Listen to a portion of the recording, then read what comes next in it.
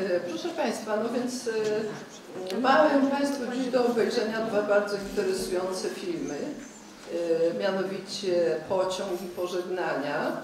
Obydwa mniej więcej z tego samego okresu i przez twórców, którzy trochę podobną drogę odbyli, no aczkolwiek nie całkowicie podobną. Film Pociąg jest filmem Jerzego Kawalerowicza, a pożegnania Hasa. To są prawie równolatkowie. Kawalerowicz urodził się w 22 roku, a Has w 25. No więc trzy lata różnicy.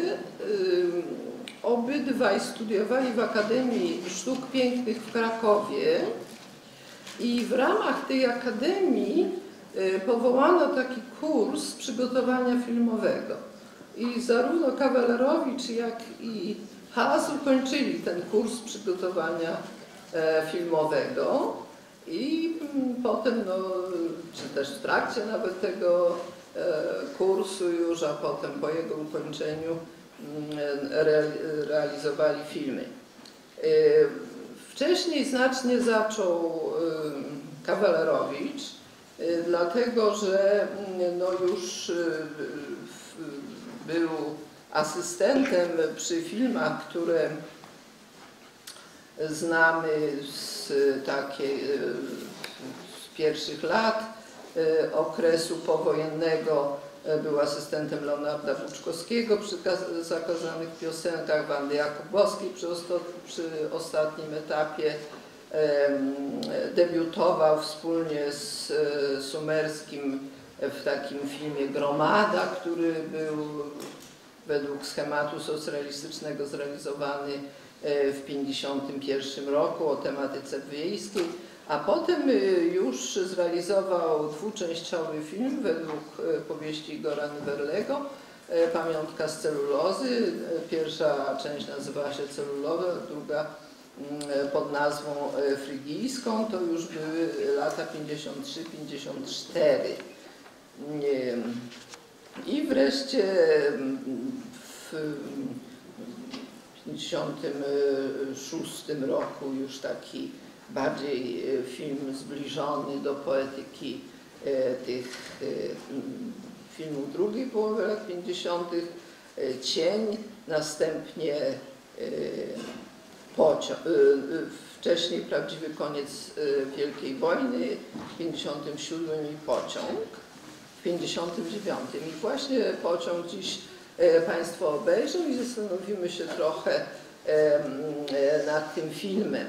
E, no, różni po- początkowo krytycy, potem także i historycy filmu zastanawiali się nad tym, no, na ile te filmy, właśnie te dwa, ta, ich często dotyczyła ta refleksja, czy one należą, czy nie należą do e, szkoły polskiej, do zjawiska szkoły polskiej. Stanisław Ozimek, który e, rozważał tę problematykę dość szczegółowo, no i wyodrębnił w szkole polskiej takie trzy główne jakby nurty.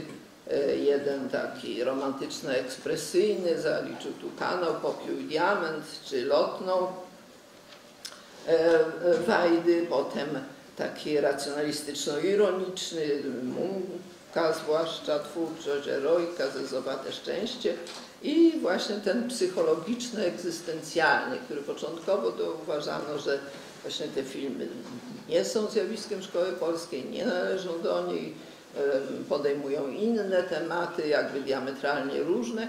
E, Potem ta ocena zaczęła ulegać zmianie. Właśnie Ozimek no, tu mówi o trzecim nurcie, o tym psychologiczno-egzystencjalnym, dla podkreślenia, że mm, autorów tych filmów nie tyle interesuje historyczny, społeczny, polityczny wymiar e, wydarzeń e, wojennych, co reperkusje tych wydarzeń w psychice ludzi, które to reperkusje są istotne e, dla jednostkowych losów.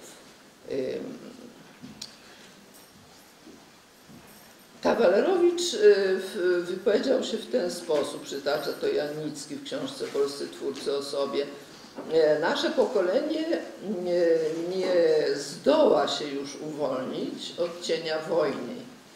Jej ślady się zagoiły, ale nie sposób ich uleczyć.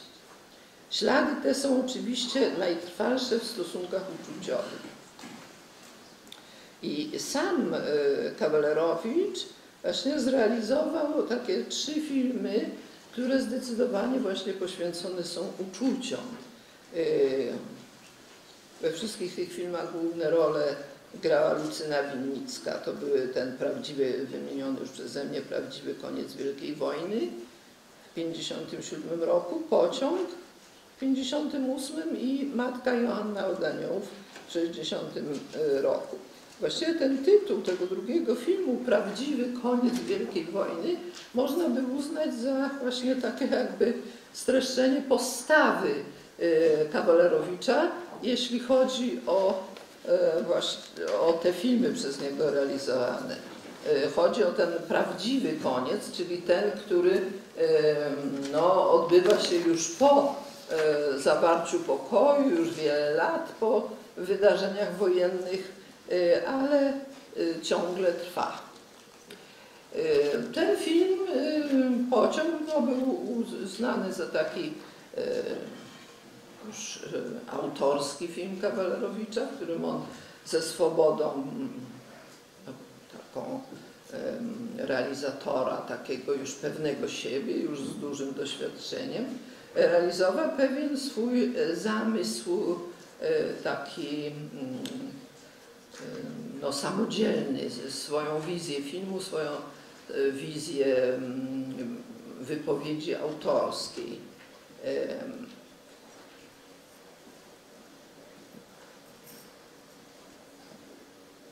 On właśnie mówił, że jego, to znaczy, że film autorski właściwie narodził się w Polsce wcześniej niż na Zachodzie, tak Kawalerowicz się wypowiedział, dlatego że właśnie absolwenci tej łódzkiej szkoły filmowej, do której zresztą Kawalerowicz, do których nie należał, bo on nie kończył łódzkiej szkoły filmowej, ale w każdym razie większość tych autorów Polskiej Szkoły Filmowej to właśnie wywodziła się z łódzkiej szkoły, że oni chcieli robić coś własnego, przeciwstawić się temu pancerzowi socrealizmu, który wcześniej był im narzucany, realizować własną wizję filmu, ujawnić własny temperament w realizacji tego kina.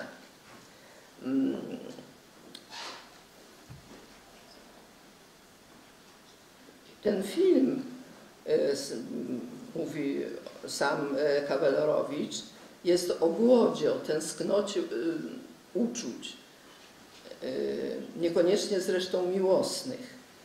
Bohaterka tego filmu, dziewczyna, odczuwa niedosyć, niedosyt życia. Mężczyzna pod jej, u mężczyzny pod jej wpływem rodzi się poczucie samotności. Każdy człowiek jest w pewnym sensie niezadowolony z tego, co ma, mówi, i zostawia sobie jakąś furtkę, jakąś niejasną perspektywę. Tę tęsknotę, tą tęsknotą uczuć zostali obdarzeni wszyscy bohaterowie pociągu. Nastąpił niejako podział jednego melodramatu na wiele osób. No więc jak już tytuł nawet pokazuje ten temat zasadniczy tego filmu, no to jest pociąg. Pociąg jest takim tematem w kinie bardzo e, częstym, płodnym, chętnie podejmowanym w sensie samej scenerii, w której rozgrywa się akcja filmu. No, pamiętamy, że e, pierwszy film w dziejach kina, wjazd pociągu na stację, to właśnie też dotyczył pociągu, ale potem w klasycznym kinie wielokrotnie ten pociąg się pojawiał i w różnych filmach kowbojskich, w westernie, często właśnie z pociągiem jako symbolem pewnej już cywilizacji na dziki zachód wkraczającej. Też akcja była związana w filmie dokumentalnym, na przykład Nocna Poczta Bazyla Rajka, klasyczny film dokumentalny, też pokazywał właśnie akcję taką pracy ludzkiej, która ma miejsce w pociągu. No oczywiście różne mm, filmy sensacyjne, kryminalne też, e, na przykład Limeta, Morderstwo w Orient- Expressie, czy Nieznajomi z pociągu i tym podobne. E, Ta, taka przestrzeń filmowa e, przez swoje ograniczenie, jeśli chodzi o wnętrze tego pociągu, stwarza możliwości szczególnej takiej obserwacji bohaterów. No i też siłą rzeczy czas jest ograniczony jakoś. Wiemy, że ten pociąg no, nie jedzie w nieskończoność, tylko w jakimś określonym czasie ma gdzieś dotrzeć. Tu ta rama czasowa, no to jest taka mieszcząca się w, ra, w ramach właśnie tej jedności czasu. Wieczorem zaczyna się akcja filmu w tym e, pociągu, który wieczór wyjeżdża mm, z Warszawy i rano ma być e, na Helu.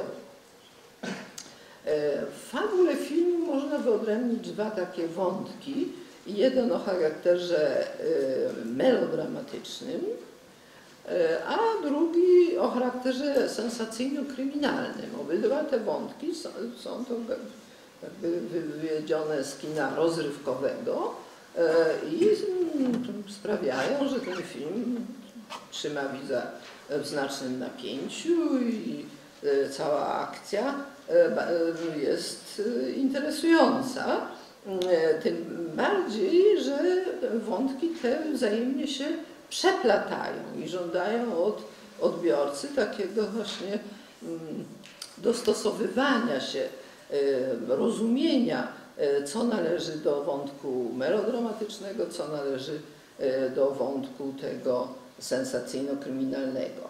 No więc ten pierwszy, melodramatyczny, y, to opowiada o właśnie takiej tej podróży, którą zupełnie tak wbrew sobie niechętnie odbywają młoda kobieta, Marta, którą gra Lucyna Winnicka i Jerzy, też młody lekarz, y, kreowany przez Leona Niemczyka. Znaleźli się oni przez przypadek w tym samym przedziale, ponieważ dziewczyna kupiła bilet do znajomego mężczyzny, który w ostatniej chwili go sprzedawał i w ten sposób znaleźli się w takim no, przedziale e, męsko-damskim, e, co na ogół nie było praktykowane.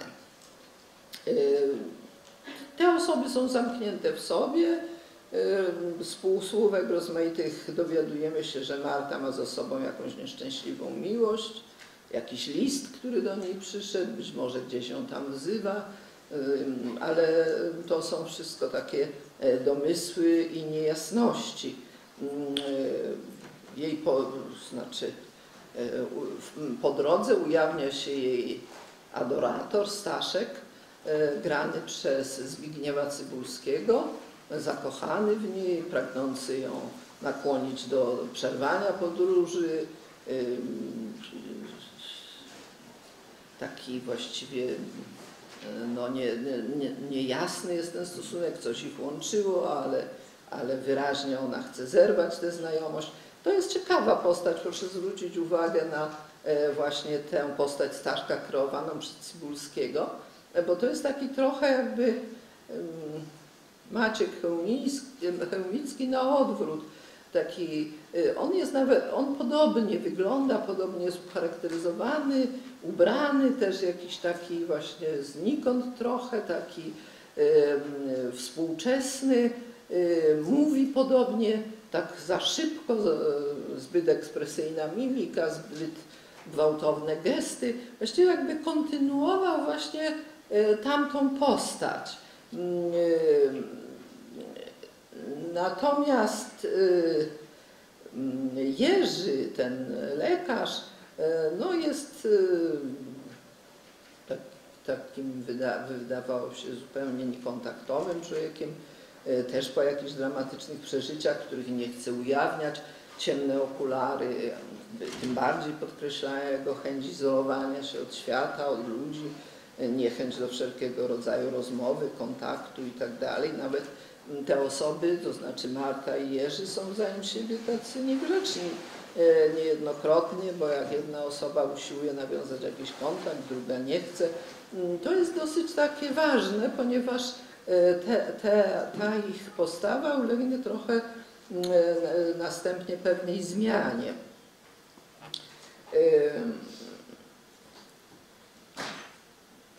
Tu trzeba też zwrócić uwagę, że w tym pociągu no, y, możliwość zdjęć, pracy kamery jest też specyficzna, ponieważ wszystko odbywa się w bardzo takich bliskich planach.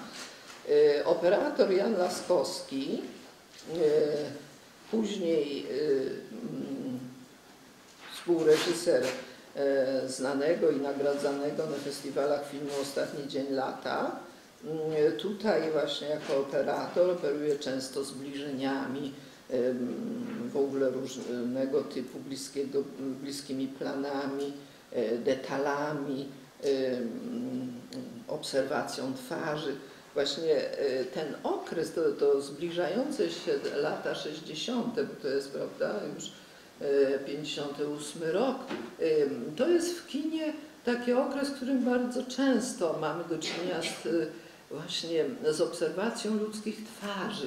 Y, To i w dokumencie był taki y, czas wtedy, kiedy mm, poprzez obserwację bardzo wnikliwą twarzy usiłowano jakby wejść w psychikę bohaterów, wszelkie niuanse, wszelkie jakieś e, drobne zmiany mimiki, one były rejestrowane, były jakby interpretowane ruchem kamery i tu e, podobnie to jest.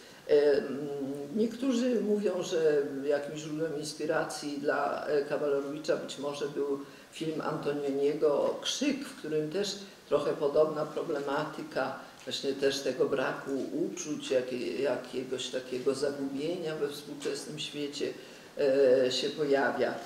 Ale jak już wymieniam Antonioniego, no to właśnie widzimy, że to już jest ta, e, ta epoka, w której będziemy się przyglądać ludziom, ludzkim uczuciom, będziemy je studiować poprzez ich gesty, zachowania, twarze i tak. Y, Ten wątek y, mm, taki melodramatyczny y, w pewnym momencie zostaje zawieszony w tym filmie na rzecz y, sensacyjno-kryminalnego.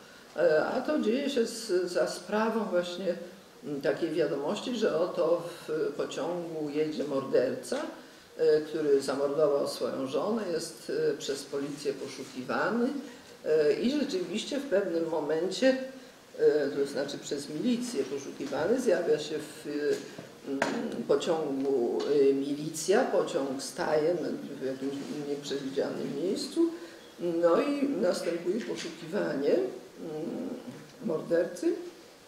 Morderca ucieka z pociągu i wtedy pasażerowie opuszczają ten pociąg i wybiegają za nim. I tu jest taki charakterystyczny, jeśli chodzi o sposób pokazania e, świata, rzeczywistości, ludzi, ludzi w przestrzeni, taka zmiana właśnie zdjęć, ponieważ jak dotąd wszystko było właśnie w tych ciasnych y, wagonach mm, kolejowych, tak teraz wybiegają w przestrzeń.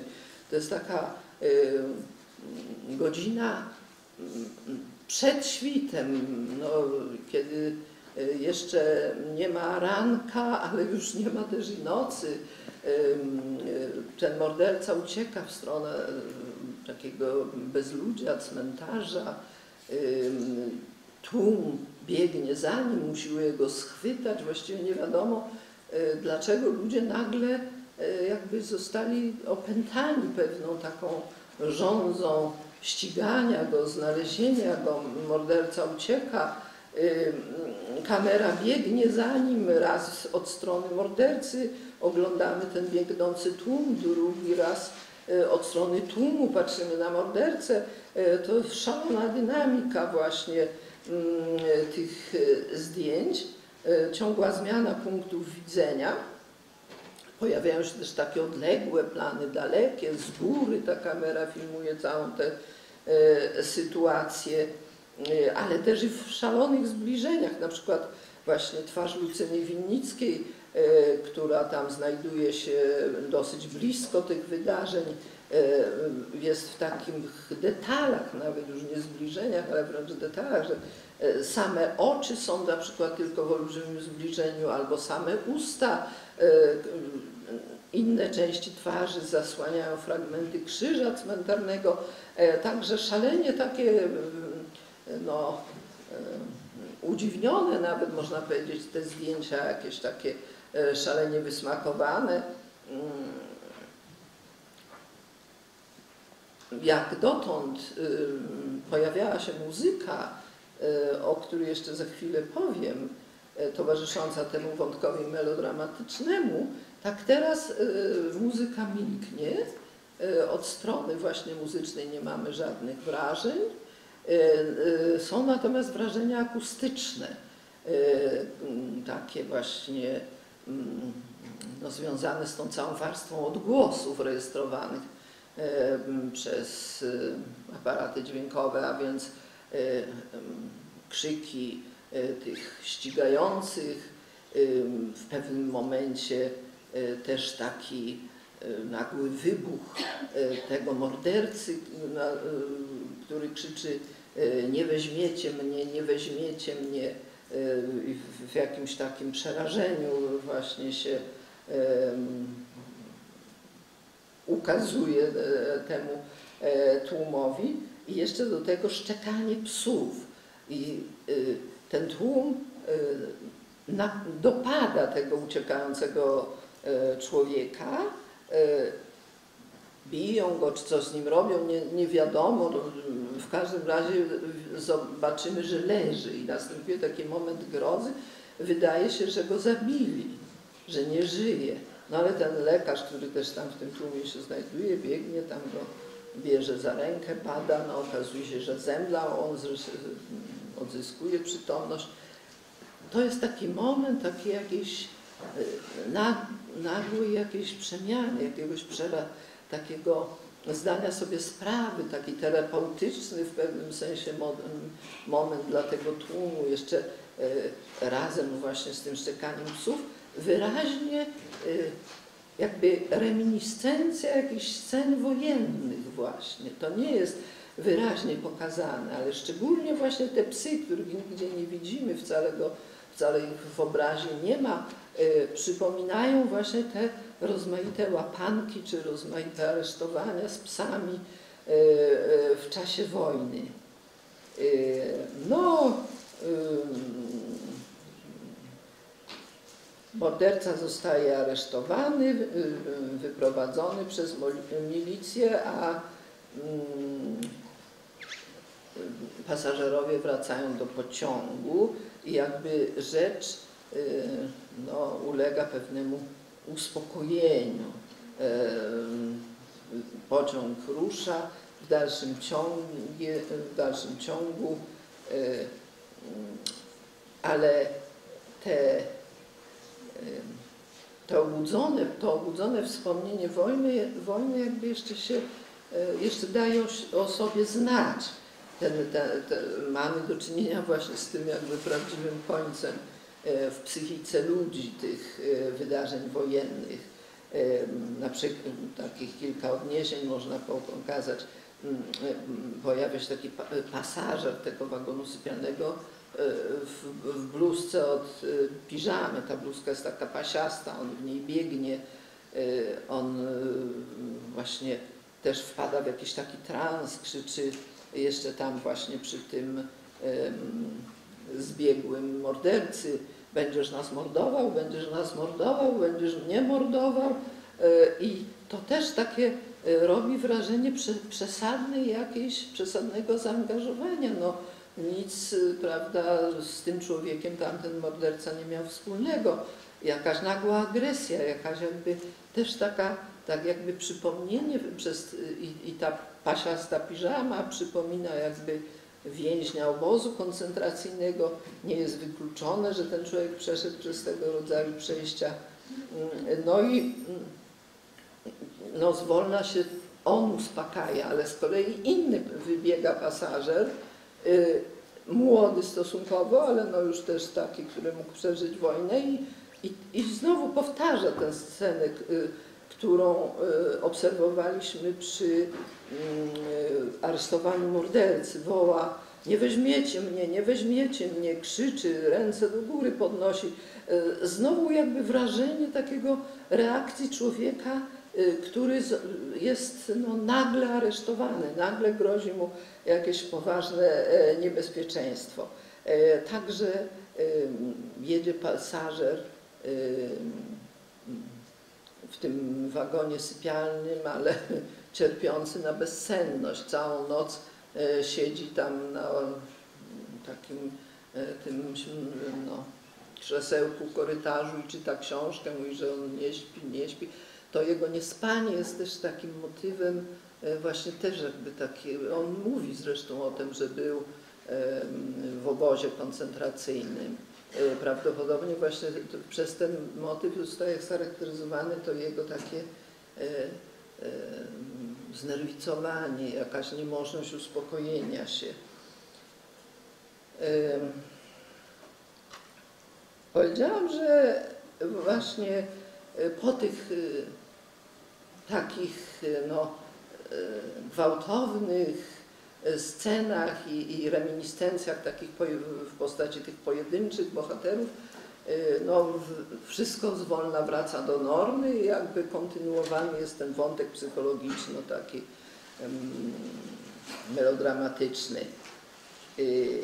I wraca muzyka. I tu jest to ciekawa, wraca ta muzyka, która od początku zresztą towarzyszy filmowi, jak mówiłam, została, to znaczy towarzyszy akcji, została przerwana na czas tej sceny z aresztowaniem mordercy. To jest ciekawy właśnie zabieg muzyczny, bo to jest muzyka jazzowa. Pierwszy raz została użyta w polskim filmie. Występuje kwartet Andrzeja Kurlewicza, improwizujący taką melodię. To jest melodia Moon Rai, skomponowana przez kompozytora Artishoa, też jazzmena. Ta muzyka do pociągu powstawała w ten sposób, że zamknięty w studio ten kwartet Kurylewicza i Wanda Warska jako wokalistka zespołu przez dwie doby improwizowali właśnie muzykę jazzową. No a reżyser się temu przysłuchiwał, siedział, no wreszcie wybrał ten temat, który zresztą nie wiadomo było na początku, że to jest tym tematem Artishoa. No potem były z tym pewne komplikacje takie natury finansowej, ale, ale to wszystko zostało rozwiązane i ten temat stał się takim tematem wiodącym,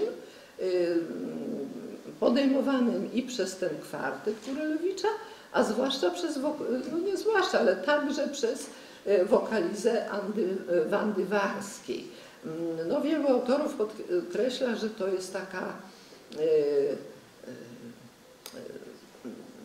szczególnie przez tę wokalizę, że taki element pry, prywatności, intymności jest wprowadzony tej, do tego filmu. Bardzo ciekawe opracowanie tej, tej sprawy przedstawia Iwona Sowińska, autorka bardzo interesującej książki niedawno wydanej, no z, z, z 5 lat temu jednak chyba, Polska muzyka filmowa w latach 45-68. I ona tam zwraca uwagę na swoiste nacechowanie muzyki jazzowej wówczas. Muzyka jazzowa była traktowana jako jakaś taka forpoczta kultury zachodniej, była swego rodzaju taką muzyką też traktowaną przez odbiorców jako muzykę czasu wolnego, czasu ujętego w nawias, muzyką swobodną, właśnie inną niż proponowany model uczestniczenia, w, w, w, znaczy realizowania czasu wolnego, czy też uczestniczenia w rozrywce, bo dotychczas jakby lansowany był głównie ten model, że oto no, po pracy oddajemy się jakiejś rozrywce. Ta rozrywka jest w dużym stopniu przewidziana, muzyka, która będzie wykonywana jest w naszym stopniu przewidziana i wiemy, jak tu należy się zachować. Ta druga połowa lat 50. to też jest dopuszczenie pewnej prywatności takiej, właśnie w rozrywce również, w, jakby w podziale godzin dnia, które ma przed sobą człowiek i może je w różny sposób zagospodarowywać. No, Sowińska zresztą uważa, że ówczesne władze przeceniały jakby obrazoburczą rolę jazzu. Nie był, ona mówi, że jazz nie był buntem, był raczej sposobem na ignorowanie publicznej sfery życia. I on tu w pewnym sensie taką funkcję spełnia, że właśnie wtedy, kiedy dochodzimy do tej intymności, takiej prywatności kontaktów, to wtedy rozbrzmiewa konkretna, kolejna realizacja tych tego motywu jazzowego, tej, tej wokalizywarskiej. No i ponieważ jazz jest taką muzyką, która ma za zadanie aktywizować muzyków przede wszystkim, ale także w jakimś stopniu tych, co słuchają tej muzyki jazzowej, to tutaj też te, trochę taką funkcję spełnia, że widz ma zauważyć, kiedy ta muzyka jest, kiedy jej nie ma, a także ma jakby zaktywizować się w ogóle do odbioru, to znaczy rozeznawać splot tych wątków, tego melodramatycznego wątku i tego wątku drugiego, tego sensacyjno, sensacyjno-kryminalnego, łączyć to z muzyką i w ogóle zachować taką postawę no, estetyczną wobec tego filmu i aktywną postawę estetyczną. Jeśli chodzi o, to znaczy ta, ta muzyka, ona nie stwarza żadnego takiego, nie pretenduje do tego, żeby jakoś ją łączyć z tym, co dzieje się na ekranie. To nigdy nie jest tak, że gdzieś słyszymy jakieś wykonanie na przykład jazzowe, czy też tam z głośników, czy ona swoim zupełnie rytmem biegnie, oczywiście jest skorelowana z obrazem, ale wyraźnie słychać, że ona w innej przestrzeni jakby funkcjonuje niż to, co widzimy na ekranie. To jest wyraźnie przestrzeń studia nagraniowego, słychać, że to jest dużej sali, że to jakiś pogłos taki jest w tej sali. To zupełnie to, to nie, nie, nie mają twórcy takiej tendencji, żeby to jakoś widz uwierzył, ja wiem, w realność tej muzyki w stosunku do obrazu. Także właśnie te, ta warstwa odgłosów, stukot kół, otwieranie, zamykanie drzwi, gwizd lokomotywy też nie są werystyczne. To one też funkcjonują na takich zasadach raczej związanych z dramaturgią filmu niż z ilustracyjną funkcją tych odgłosów. Te, te odgłosy są na, nagle ściszane albo nagle wgłaśniane, na przykład stukot kół lokomotywy, zależy raczej od psychiki, od bohaterów, od tego, co między nimi ma miejsce, niż właśnie od realnej sytuacji. Także ten projekt skonstruowania całej ścieżki dźwiękowej na takich nowych zasadach był dużą innowacją tego filmu. No może warto też powiedzieć, że taką warstwą filmu, na którą warto zwrócić uwagę, to jest też taka niejako mimochodem czyniona obserwacja pasażerów różnych, już nie tylko tego wagonu sypialnego, ale także przy wsiadaniu do pociągu na początku, przy wysiadaniu, a także w tych innych wagonach. To jest trochę taka e, obserwacja e, społeczeństwa tamtego okresu w miniaturze. E, Właśnie ten tłok w pociągu, e, sposób zachowania się ludzi, sposób mówienia,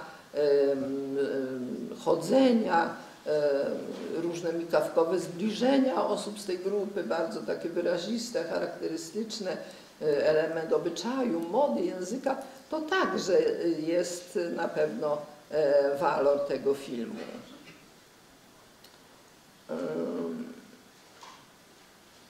No można też e, powiedzieć, że następuje pewne takie, e, pe, znaczy pewna taka zbieżność między, e, ru, znaczy nie tyle zbieżność, przepraszam, co odwrotnie, kontrast między e, ruchem i bezruchem, ruchem pociągu, bezruchem pewnych e, postaci, ruchem pejzażu za oknem, em, drzemką tych postaci, e, no, tą muzyką. E, To wszystko powoduje, że ten film, który e, no, wydaje się taki z założenia no, jednak mało dynamiczny, no, bo pokazujący e, tę parę w, w pociągu, e, no, jest filmem pełnym rozmaitych napięć, rozmaitych takich e, sytuacji, które widz e, śledzi z, z dużym zainteresowaniem. E, w- Na, w końcu e, ci izolujący się początkowo bohaterowie e, jednak po tych wszystkich przejściach, które e, przeżyli w nocy, końcu jakby mówią do siebie, wypowiadają swoje problemy. Lekarz Jerzy mówi o tym, że e, umarła mu na stole operacyjnym kilkunastoletnia dziewczyna. Marta odkrywa, że była zakochana w mężczyźnie, e, który no, chciał właściwie głównie tego, żeby ona go kochała, bo w jej miłości się jakby przeglądał. E, Był chorobliwie ambitny, ne- neurastanicznie bał się anonimowości, o której mówi ona, że jest chorobą naszego wieku. E, Cierpiący na bezsenność bohater w końcu zasypia, co ze zdumieniem konstatuje. E, Ten Staszek grany przez Cybulskiego wysiada jednak z tego pociągu, a całą drogę no, y, prześladował Martę, y, pojawianie się w różnych nieprawdopodobnych miejscach, a to usiłował wedrzeć do, za, do tego wagonu, a to przez okno y, tam twarz swoją i głowę swoją pokazywał. Wszyscy jakby ulegają pewnego rodzaju oczyszczeniu, pewnego rodzaju uspokojeniu.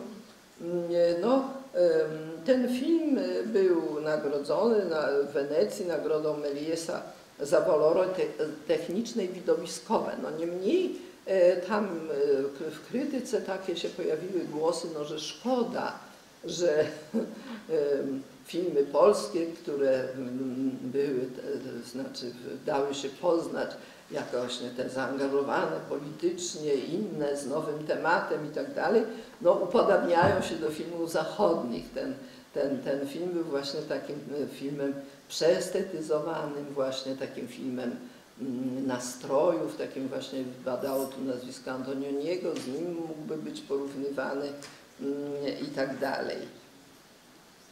Yy, Tu ym, autorzy opracowania e, Adam Garbicz i Jacek Klinowski piszą e, w swojej książce Kino Wehikuł Magiczny. Kawalerowicz, który zaczynał jako utalentowany realista, właśnie tu w pierwszym dojrzałym filmie pozwala w pogoni za sublimacją stylistyczną na ową wygasającą w życiu nienaturalność zachowania się postaci, y, która wniesie chłód do późniejszej matki Joanny od aniołów, a także do faraona. Tak jest, taka jest jego opinia. No, jeszcze trochę e, na temat em, drugiego filmu, mianowicie pożegnań Hasa. No jak mówiłam, Has y, też skończył ten kurs przygotowania filmowego w Krakowie. Był związany na początku e, z wytwórnią filmów dokumentalnych, ale to raczej tak jako autor rozmaitych e, tematów do kroniki, ale zrobił też taki nastrojowy film e, Ulica Brzozowa o ruinach Warszawy. E, Zrobił e, też e, e, krótkometrażówkę taką fabularną pod tytułem Harmonia. To było jeszcze e, no, ponad 10 lat przed tym jego debiutem zasadniczym, jaką, jakim była później Pętla w 1947 roku. Yy, No, został potem przeniesiony do e, wytwórni filmów oświatowych. E, No i tu przeczytam parę tytułów, które tam zrealizował. No, Same tytuły dadzą Państwu jakieś takie wyobrażenie o tym, no, co to za zadania były mu stawiane. Y, Mechanizacja robót ziemnych w 1951 roku. Drugi film, Scentralizowana kontrola przebiegu produkcji, y, też w 1951. No, potem Harcerze na zlocie, y, na zlocie, Karmnik Jankowy, jakiś nasz zespół jakimś. No i też do kronik filmowych. Najciekawszy z tego okresu był taki film Zielarze z Kamiennej Doliny. Y, To, to był film o zbieraczach ziół. Y, I y, tutaj w ocenie komisyjnej tego filmu tak zapisano. Scenariusz jest dobry, fabuła interesująca i film niewątpliwie spełnia rolę werbunkową, bo chodziło o właśnie tych nowych zbieraczy. Jednak w wersji tej forma góruje nad treścią, a raczej forma przytłacza treść. Y, I to był ciągły zarzut w stosunku do tych filmów. Także właściwie te filmy, na przykład ten średniometrażowy Harmonia, czy one nie były właściwie na ekranach wyświetlane. No czasem tam jakieś te krótkie mm, e, takie mm, typu dokumentalnego. W każdym razie e, Has miał mm, duży dorobek jako właśnie ten realizator e, filmów dokumentalnych. E, Ci właśnie zielarze z Kamiennej Doliny byli najbardziej takim hasowskim e, filmem. Właśnie zasuszone liście, takie pędy dzikiego ziela, e, jakieś takie no, mm, dziwne kształty. To wszystko właśnie już zapowiadało ten styl Hasa, ten charakterystyczny obraz Hasa, no, pełen rozmaitego typu em, em, jakichś em, rekwizytów, jakichś, jakich, jakichś takich dziwnych sprzętów, dziwnych przedmiotów i kształtów. E, Właściwym debiutem Hasa była e, Pętla, e, film w 1958 roku e, według opowiadania mm, Marka Chłaski. E, I Pętla, e, to znaczy to był taki debiut, mówiono, że późny debiut, no, a reżyser debiut fabularny, 33 lata miał. E, Has, jak ten film zrealizował, w 1957 roku była realizacja, pre, premiera w styczniu 1958 roku, no 20 stycznia, czyli tam mm, mamy taką rocznicę właściwie, bo dziś jest 18. E, To był film według opowiadania Chłaski, e, film Zagadka, przytłaczająca opowieść o jednym dniu z życia alkoholika. Znowu mamy tę jedność czasu taką i to wyraźnie tak akcentowaną. Film zaczyna się o 8 rano i kończy się następnego dnia też o 8 rano. Ujawnia się jedna z obsesji, jak pisano po nieraz Hasa, mianowicie czas, to znaczy chęć oddania czasu, refleksja nad czasem. Ten czas jest zaznaczany nieustannie, bo bohater y, przez okno widzi zegar miejski, tam co, co, co, co godzina, y, godzina jest odmierzana, a wcześniej kwadranse i, i, i ten bohater jest jakby tym, tymczasem no, przybity, bo on czeka na wizytę prawda, mm, swojej narzeczonej, z którą ma iść do lekarza, jest alkoholikiem, e, ma się wydobyć z tego, mm, z tego nałogu. E, Znowu to jest bohater z jakąś tajemnicą, nie wiemy jaka jest jego przeszłość, e, skąd ten e, jak, bo wyraźnie jest tutaj zmiana w stosunku do pierwowzoru literackiego, m, którym e, było opowiadanie Marka Chłaski. Bohater Marka, Marka Chłaski jest taki bardziej e, proletariacki, a tu jest wyraźnie taki intelektualista, jakiś artysta, e, który mm, no, tu mm, ma te, te swoje problemy. Mm, W wywiadzie dla Marii Kornatowskiej w 1998 już roku Has mówił, w moich filmach opowiadam moją wyobraźnię i pamięć. E, Pamięć ma dla mnie kluczowe znaczenie. Istniejemy bowiem w czasie przeszłym, we własnej i cudzej pamięci. Teraźniejszość umyka nam. Czas przyszły pojawia się w marzeniach. Opowiadanie filmowe rozgrywa się w czasie przeszłym, a pamięć ma charakter subiektywny. No i to właśnie te problemy tej pamięci, tej subiektywności y, no, y, staną się podstawowym y, tematem filmu Hasa Pożegnania, którego premiera odbyła się w 1958 roku. Też jest film ten adaptacją powieści Stanisława Dygata, napisanej w 1948 roku, więc 10 lat przed filmem, y, pod tym samym tytułem y, Pożegnania.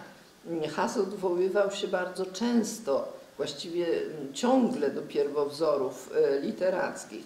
Na 14 jego pełnometrażowych filmów fabularnych 13 jest adaptacjami utworów literackich. W monografii o powieściach y, Dygata y, Barbara Gutkowska, właśnie jego monografistka, pisze, że autor ten ożywia wiele polskich archeotypów historyczno-obyczajowych, kulturowych.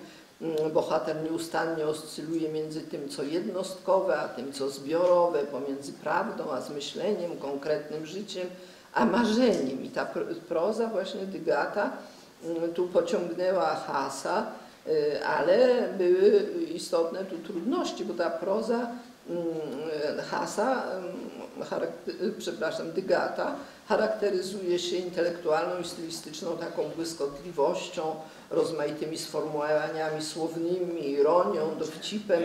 Na ogół bohaterem jest inteligent, o jego skłonnościach takich do autoanalizy. Mm, On y, próbuje pewnego rodzaju takiej konfrontacji ze światem zewnętrznym. Mm, Pojawia się właśnie taki ton jakby ironii romantycznej e, w, tych, e, w tym pisarstwie mm, Dygata. E, No więc e, to, było to niewątpliwie wyzwanie. E, Marcin Maron, autor monografii o Hasie, takiej nowej, sprzed paru lat, e, pisze, że e, Pożegnania to opo- opowieść o rozpadzie kulturowym, historycznym świata, widzianym w polskiej e, perspektywie. E, No więc pojawił się problem, jak za pośrednictwem filmu e, oddać te charakterystyczne dla Dygata niedomówienia, ironiczność stylu, absurdalność wielu sytuacji itd. Y, Inspiracją do powstania powieści Dygata, jak on sam mówi w jednym z wywiadów, była 26. sonata Ludwika van Beethovena Les Adieux, czyli pożegnania właśnie. Sonata ta, e, podobnie jak e, powieść Dygata, składa się z trzech, z trzech części. E, Jeśli chodzi o powieść, to część pierwsza to obraz życia w przedwojennej Warszawie, w ostatnich miesiącach e, przed wojną, w takim e, no, tak zwanym dobrym domu mieszczańskim z tradycjami, może nawet mm, arystokra- z, pewnymi koneksjami arystokratycznymi. E, Część druga ukazuje wyjazd do Paryża bohatera, jakoby na studia, ale raczej pędzi on tam życie takie złotego młodzieńca. E, Wraca do Warszawy tuż przed e, wybuchem II wojny, a i część trzecia toczy się w ostatnich miesiącach wojny na przełomie roku 44-5. Y, I te, Has zrezygnował ze środkowej części, tej paryskiej, zachował tylko pierwszą i trzecią. I między tymi częściami, proszę zwrócić na to uwagę, brak jest właściwie jakiegokolwiek przejścia. Jest takie y, ostre cięcie montażowe po tej pierwszej części i zaczyna się od razu ta druga, czyli no, licząc książką trzecia. To gwałtowne cięcie oddzielające te części, ono ma swoistą taką wymowę e, właśnie tego jakiegoś gwałtownego wydarzenia, które nastąpiło między mm, tymi częściami. E, o losach bohatera w czasie wojny też dowiadujemy się jakby mimochodem. Trzeba uważnie słuchać dialogów, bo właśnie bohater Paweł kreowany przez Tadeusza Janczara, no, wypowiada bardzo potocznie te swoje kwestie, bez akcentowania jakichś wydarzeń, trzeba się w niej słuchać i wtedy okazuje się, że mm, walczył w 1939 roku z wojskami niemieckimi, potem był dwa lata w obozie koncentracyjnym w Oświęcimiu, E, potem już pod sam koniec, po upadku powstania warszawskiego był mm, z innymi uchodźcami Warszawy w obozie w Pruszkowie i wreszcie znalazł się mm, e, w Podkowie Leśnej. E, ten bohater zatem nie jest tym bohaterem heroicznym, jak to często miało miejsce w filmach tego głównego nurtu szkoły te, te jego związki właśnie z walką, z, z, z cierpieniem, więzieniem, one są jakoś ściszone, gdzieś znowu na dalszym tle występują. E, on właściwie tylko jakoś tak o nich ledwo wspomina. Mm, e, główny nacisk położony jest na tę właśnie sferę przeżyć psychiki bohaterów. E, no więc w pierwszej części mamy przede wszystkim właśnie ten e, obraz tego mieszczańsko-inteligenckiego domu, pewne skostnienie, taką rytualizację w obyczajach, w stosunkach między ludźmi.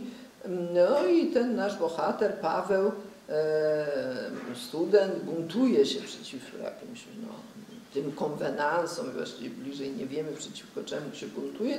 W każdym razie mówi o sobie, że Mm, szuka pozytywnych wartości. E, oczywiście jest to sformułowanie ironiczne i ta ironia bardzo często e, tu w tym filmie e, mm, będzie dochodziła do głosu.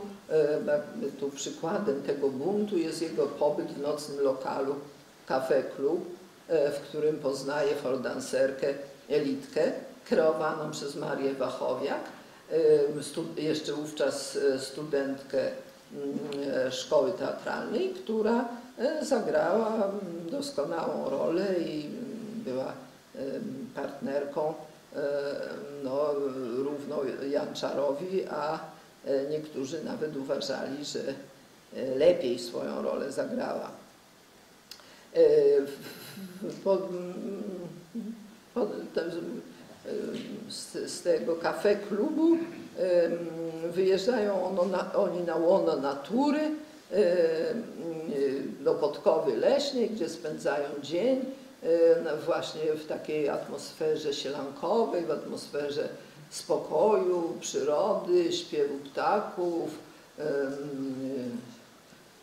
Bohaterka łapie glisty, zbiera tam jakieś roślinki i tak dalej. Potem zatrzymują się na nocleg w willi Quo Vadis w Podkowie Leśnej. Ta willa to też jest parodia willi właściwie, to znaczy właśnie taka już hasowska graciarnia, w której znajdują się rozmaite stare sprzęty i tak dalej, taki nastrój upadku wszelkiego rodzaju. Część druga jak już mówiłam, w ostatnich miesiącach wojny bohater znów znajdzie się w Podkowie Leśnej e, wraz z innymi uchodźcami z Warszawy po upadku powstania. Znów zamiesz- zamieszka w tej willi e, Quo Vadis, Ym, ale w Podkowie mieszka też jego ciotka Waleria, skoligacona z arystokracją, no więc bohater jakoś znajduje tam zaczepienie. Ciotka mieszka w pałacu hrabiny Róży, no i tam jest pokazany taki obraz właśnie e, tej domu arystokratycznego przyjmującego tych rozmaitych e, rozbitków z Warszawy, uchodźców z obozu i tak dalej. Tam em, poznaje, e, tam spo- spotyka e, właśnie bohater Litkę, tę swoją znajomą z kafe klubów, dancerkę, już jako e, hrabinę, żonę hrabiego Mirka, którego gra Gustaw Holoubek. E, Właśnie jest tam podkreślone, jak się wszystko tam e, przewartościowało. Właśnie następuje to przewartościowanie wartości. Były profesor, e, sprzedaje na stacji, mm, e, mm, Paweł trochę handluje, trochę żyje na koszt ciotki, a więc mimo e, e, nie no, że to już wątpię. W każdym razie w, w drugiej części mm, została jakaś dodatkowa perspektywa wprowadzona. Wielu z tych, którzy piszą o tym filmie, e, piszą o tym, że mm, mimo iż niby film zrezygnował z jednej części e, tej dygatowskiej, to i tak są w tym filmie jakby trzy takie części, bo dominuje czas teraźniejszy, we wspomnieniach ciągle wraca ten okres przedwojenny, ale bohaterowie żyją przyszłością, co będzie, co będzie jak przyjdą oni, Yy, co wcześniej, co zrobią Niemcy, łapanki, yy, co zrobią bolszewicy, jak wejdą, jak e, e, padają pytania. Więc bohaterowie żyją w tych nieustannych właśnie e, przemianach, nieustannych spowodowanych wojną perypetiach. Dawny lokaj hrabiny, świetna kreacja Saturnina Żurawskiego, wy, wypowiada hrabinie i zakłada własny lokal, w którym Paweł będzie kelnerem.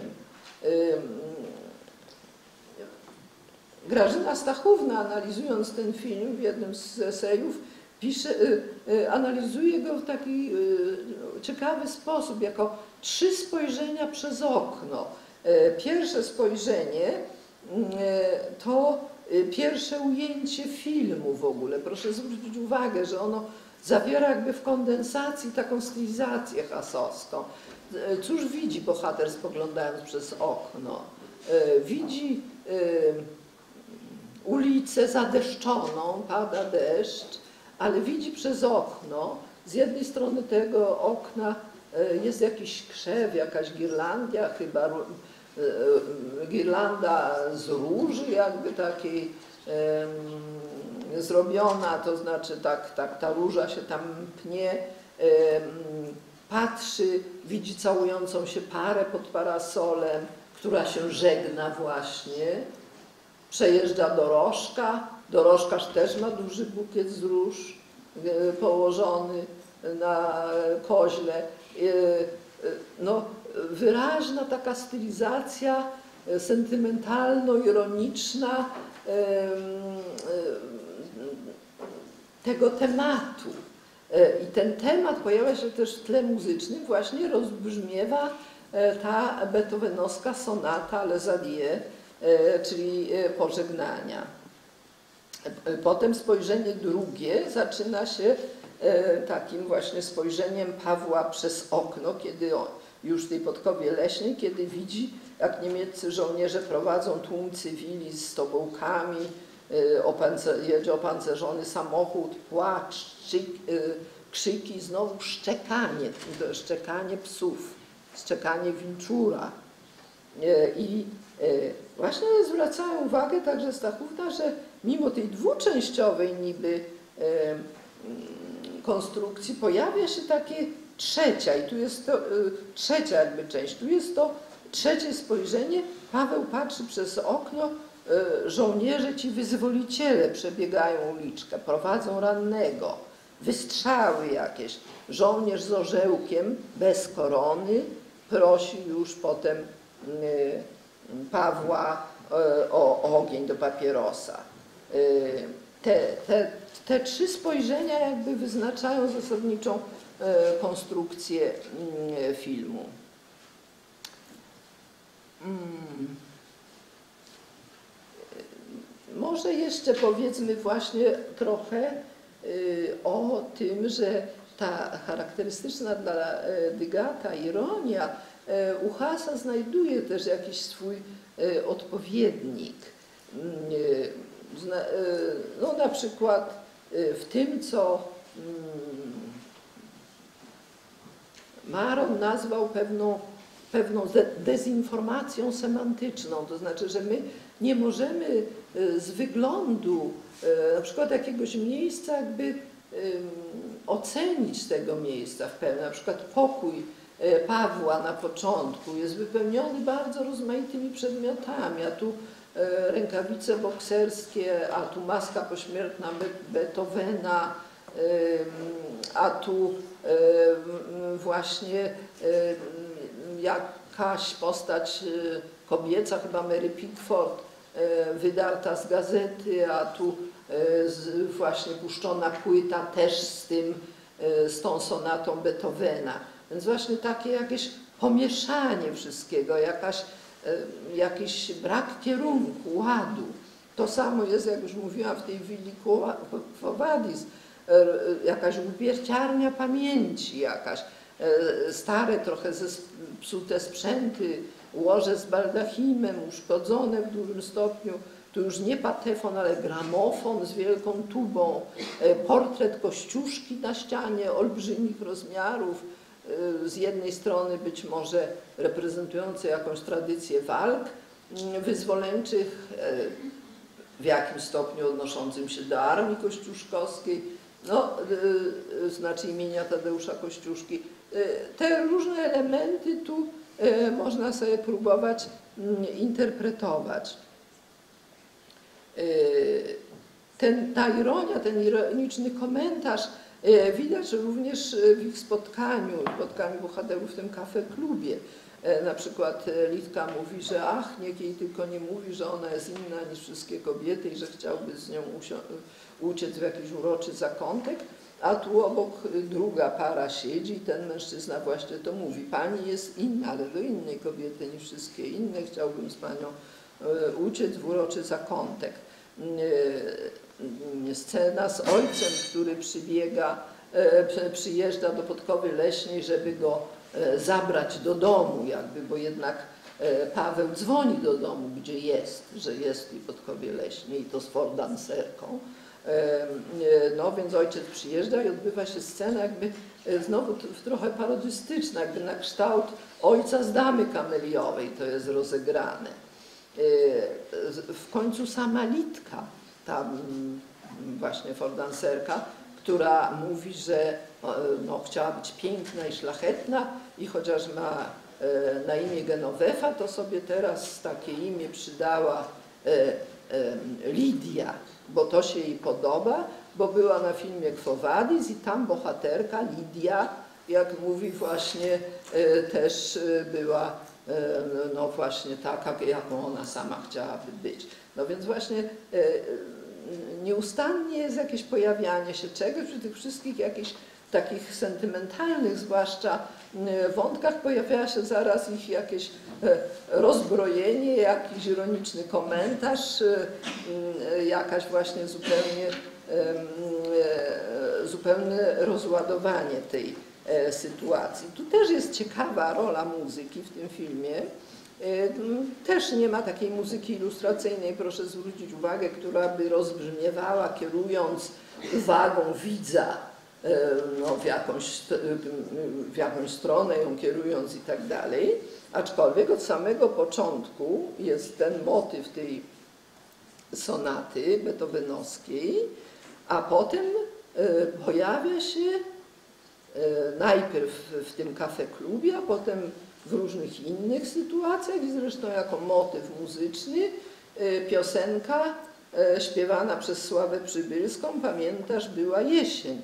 Mm, pierwszy taki na wielką skalę przebój filmowy, który był e, wówczas powszechnie śpiewany, zresztą do dziś chyba znana piosenka. Przy czym na ekranie ta piosenkarka, która śpiewa, to jest Anna Łubieńska, to nie jest Sława Przybylska, ale śpiewa Sława Przybylska, tylko właśnie jest zastosowany dubbing. E, on czasem właśnie jeszcze tam e, będzie mm, wracał. Ta konstrukcja e, tej piosenki to też jest taka właśnie dwie części z refrenem, czyli też jakby trochę trzyczęściowa i niektórzy uważają, że jakby film też powtarza w tym sensie tę konstrukcję tej piosenki. Mm, pierwsza zwrotka jest liryczna, właśnie ta pamiętasz była jesień i tak dalej, a potem jest od, druga zwrotka, odszedłeś potem nagle, gwałtowna, właśnie w innym rytmie śpiewana, jakby e, dotycząca innych wydarzeń. I refren kochany wróć, e, właśnie ten nostalgiczny, jakiś taki mm, charakteryzujący mm, e, no, taką tę postawę bohaterów, którzy żyją przeszłością właściwie, jak interpretując samego Hasa, że, że właściwie żyje, widzimy tylko przeszłość, bo teraźniejszość jest dla nas nieuchwytna, a przyszłość niewiadoma.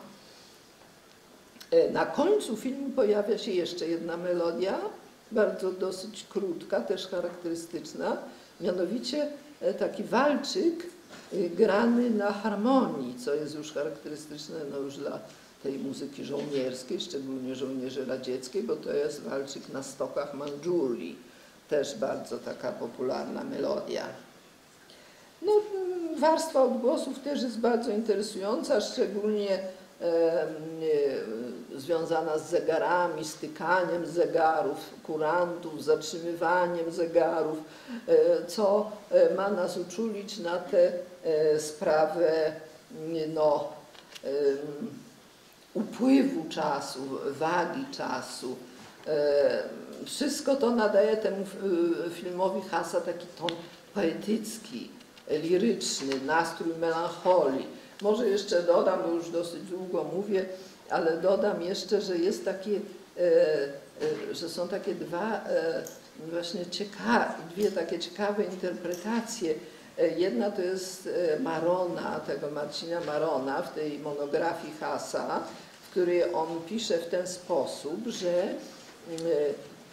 znaczy on analizuje ten wątek, który nazywa wątek, wątkiem idyllicznym, bo właściwie ten romansowy wątek, taki romansowy, nie romansowy, bo ten romans to jest taki właśnie też niejasny, nie wiadomo czy jest, czy go nie ma,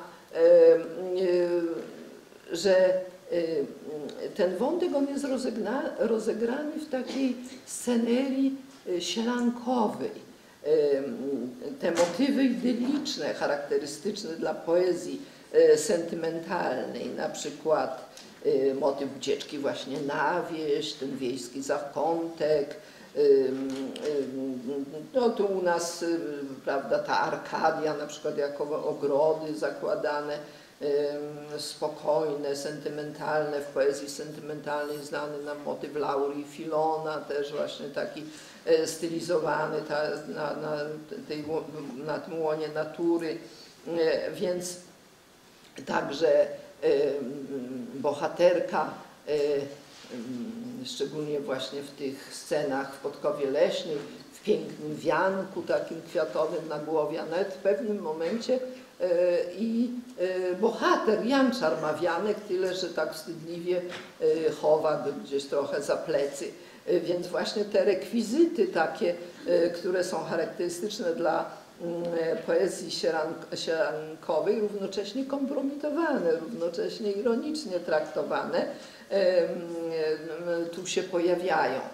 W tej willi, w tym pokoju, w tej willi E, no, e, też są takie te motywy idyliczne, jakieś amorki, jakieś takie kolumny, jakieś girlandy na ścianie malowane, ale już bardzo takie zużyte, zniszczone, no więc właśnie niby są, ale, ale w takiej postaci już zdegradowanej. Także te rozmaite stare przedmioty, czemu to służy? No już nie będę szczegółów tam w szczegóły się wdawać, w każdym razie Maron powołuje się tutaj na rozprawy Fryderyka Schillera o poezji naiwnej i sentymentalnej i twierdzi, że ten wątek służy jakby ocaleniu godności człowieka.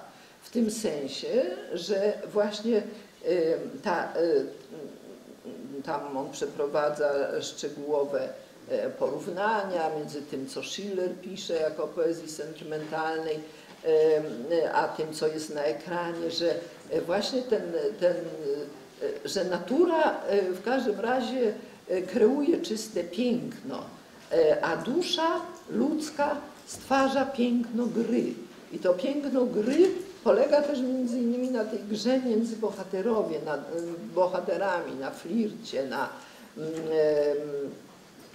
wcielaniu się w rozmaite role, na podejmowaniu właśnie jakichś takich tematów, z których wyłania się wdzięk i gracja charakterystyczne dla człowieka. I właśnie one jakby ocalają zdaniem Schillera, za którym podąża Maron, godność człowieka. Więc, że jest to próba ocalenia godności człowieka przez te właśnie, przez ten właśnie sposób pokazania go mm, i ci bohaterowie tę godność swoją potrafią zachować i w tej właśnie drugiej części filmu wobec tych strasznych wydarzeń wojennych, e, wobec tej nowej rzeczywistości, e, że jest to jakby taka umiejętność zachowania spokoju e, w cierpieniu, umiejętność zachowania człowieczeństwa poprzez zachowanie też